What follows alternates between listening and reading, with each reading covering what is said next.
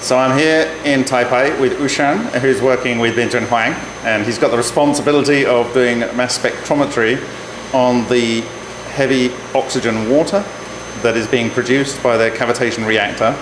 And apparently they were producing so much of this material and needed to do so many tests mm-hmm. that Mastek decided it's just going to be better if they had one on hand. And that is what you've got here, isn't it, right?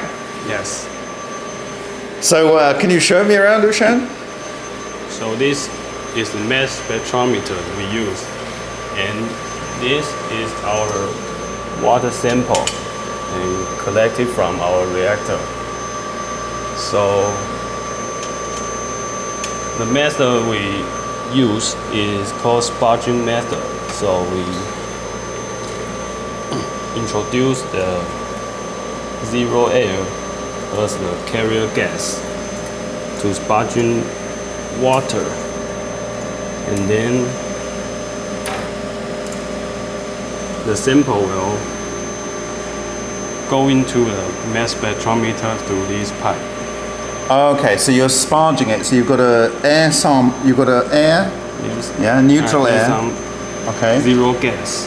and then you're into the heating this up. Yes. Uh, I put a sample into the warm water bath to keep the uniformity. So Okay, and that, that encourages a small amount of the material to come up into the sample port, yeah? yes. Over here. then into the spectrometer and we can see the all the NZ from NZ2 to NZ50.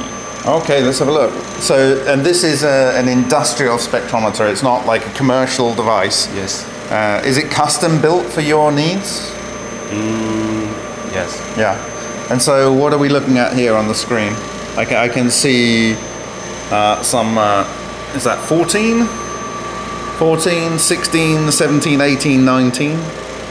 Yes? So the signal we concern is about NZ18 and NZ19. Right, okay. And is this a typical signal here? What are we looking at? Mm, I don't introduce the sample. Oh, okay. So No. this is this is without it. Okay. This is the background of the Mm-hmm. machine. And so you've got a quadrupole in there, an ionizer. Yes, protocol is in the, these two. Right. Okay. And that's the drift tube, is it? Yes. Okay. And uh, this is made by Mastek, yes? Yes. And they are an expert in these things. That's what they do, isn't it?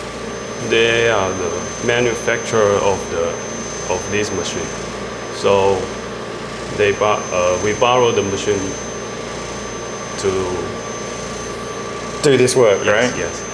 So how long have you had the machine, and how many samples have you tested? Mm, about one month. now. One month. Um, here. Here, yeah. For here. And how many samples do you test then in a day? Um, about ten samples. Ten samples. Okay. Yes. Yeah. So this is a really big difference for your work. You don't have to wait for the sample to be sent off to Mastek and for Yes, them to have to find time Yes. and so on. So you can really get to understand your reactors. Yeah. Yeah. Well, thank you very much, Ushen. That's been very kind of you to show us the Thank device. you. And uh, I wish you every success. Bye bye now.